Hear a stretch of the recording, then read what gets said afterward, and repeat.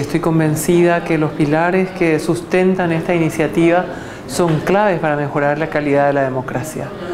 Yo creo que tanto la transparencia como la rendición de cuentas, la participación ciudadana, la ética, la probidad, son elementos centrales que pueden llevarnos a constituir políticas mucho más adecuadas para nuestros países.